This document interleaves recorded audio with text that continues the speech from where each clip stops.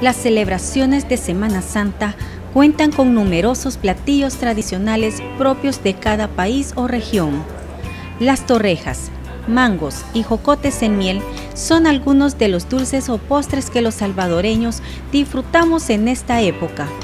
Es por ello que la Asociación de Productores de Dulces Típicos de Santa Ana, Produlsa, llevará a cabo en la ciudad morena la primera feria de dulces típicos en miel.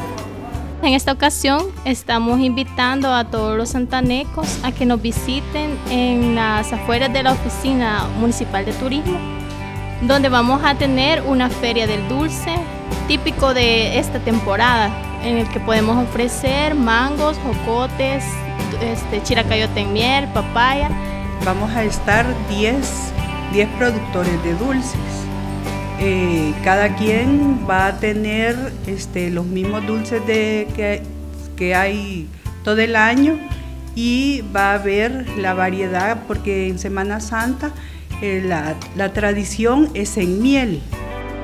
Además de las frutas en miel, los visitantes también podrán disfrutar de los tradicionales dulces elaborados en toda época del año por los productores santanecos. Como ya dijeron los compañeros, hay 10 dulcerías y todos coincidimos en algunas variedades, pero hay otros que solo son exclusivas de algunas dulcerías, como una es la dulcería Aguilar con sus famosos borrachitos, este, la dulcería Juanita con, también con su variedad de, de dulces como la tartarita, igual la dulcería Gómez con su especialidad de la leche de burra y también ahora en día yéndonos también un poco a lo nutricional, hemos innovado también en comercializar lo que son las semillas mixtas.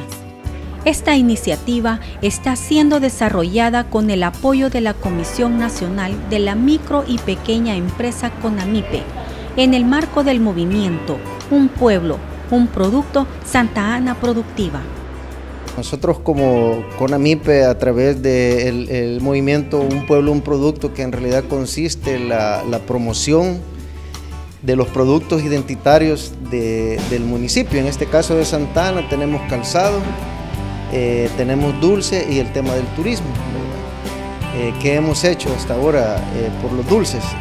bueno, primero hemos, hemos buscado asociarlos.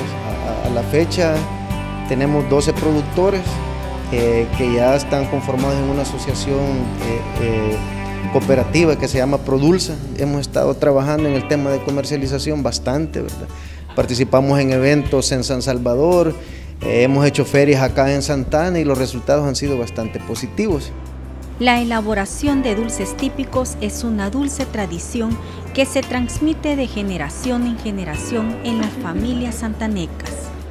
Fíjense, tenemos más de 100 años de tradición. Vea, ya tenemos eh, cuatro generaciones de estar produciendo y ya estamos preparando la quinta. La invitación está hecha para que visite el centro histórico de la ciudad morena durante las festividades de la Semana Santa y endulce su paladar con los exquisitos dulces santanecos.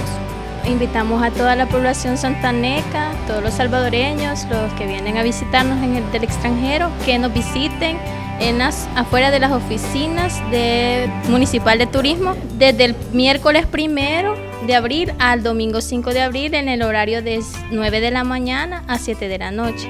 Y pues ahí los esperamos a todos para que vengan, consuman nuestros productos, ya que los dulces típicos son un producto identitario de Santa Ana. Con imágenes de Santiago Ayala, Areli Parada, SA TV Digital.